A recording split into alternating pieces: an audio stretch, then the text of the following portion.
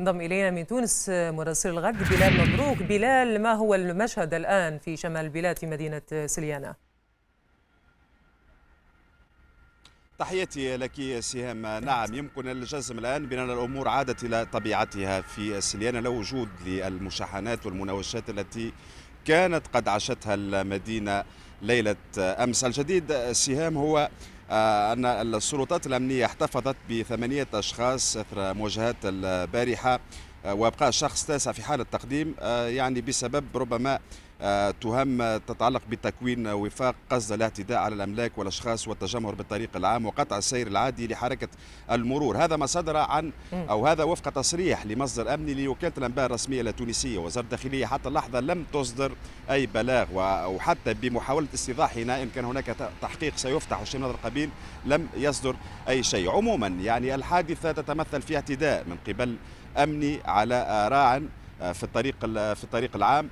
يعني هذه الممارسة وهذا السلوك أثار انتقادات كثيرة خاصة طيب هل الأمر فقط متعلق بضرب الشرطي لهذا الراعي وإهانته أم هناك خلفيات سياسية هناك دوافع سياسية في هذه المنطقة؟ وإذا لم يكن هناك هذا الشيء أو الدوافع السياسية ما الذي قام به هذا آه، آه، الراعي وما سبب هذا الغضب كله؟ وبعد ذلك هل اعتذر هذا الشرطي من المواطنين أو من من الراعي ذاته؟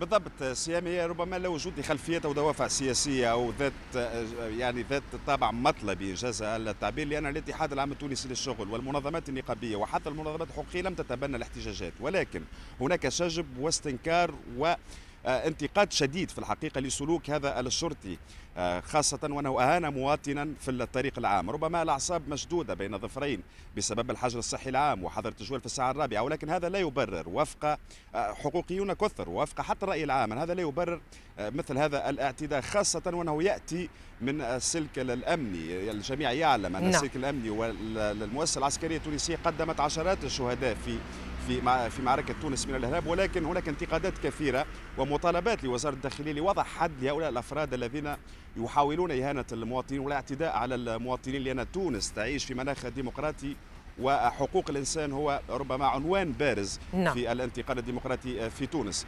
وبالتالي يمكن القول بأنه يرتقب من وزارة الداخلية أن تفتح تحقيقا في هذا الموضوع وتعاقب من قام بهذه من قام بهذا الخرق انجاز التعبير وهذا الاعتداء خاصة هناك أنباء هناك حديث صلب وزارة الداخلية أن هذا الشخص هو الآن ربما تمت نقلته آه، نعم. إلى حين أن تتم ربما تسليط عقوبات أخرى عليه حتى يكون عبره لمن يعتبر بطبيعه الحال ويحترم المواطنين ويحترم حقوق شكرا. المواطن سهام بلال مبروك مراسل الغد في تونس شكرا جزيلا لك